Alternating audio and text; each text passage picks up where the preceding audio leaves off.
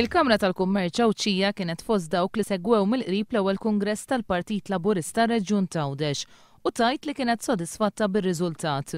Aħna bħala Business Chamber konna preżenti għal dan il-Kungress, smajna wkoll mill-workshops suġġerimenti li ħarġu, kien hemm suġġerimenti li kienu validi ħafna, aħna wkoll naqblu ma' ħafna mill-suġġerimenti li ħarġu. Michael Grech f'isem il-Kamra tal-Kummerċ jitkellem ukoll dwar il-wegħda ta' Joseph Muscat li jkun ċar mas-settur privat dwar il-proġetti li jitressqu quddiemu u fejn jaqbel magħhom Gvern Laburista ma jħallix li l-burokrazija tkun ta' xkiel.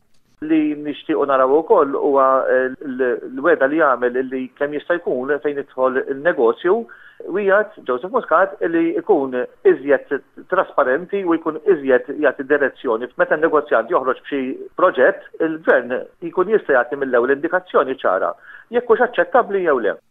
L-istess bħal Joseph Muscat anke l-Kamra tal-Kummerċ tinsisti fuq il-ħtieġa li jinħoloq aktar xogħol f'Għawdex għall-Għawdxin. Sfortunatament qed naraw ħafna miż-żgħażagħ tagħna sejrin lejn Malta biex ifittxu x-xogħol, kemm jista' jkun nixtiequ li jkun hawn ix-xogħol f'Għawdex għall-Għawdxin.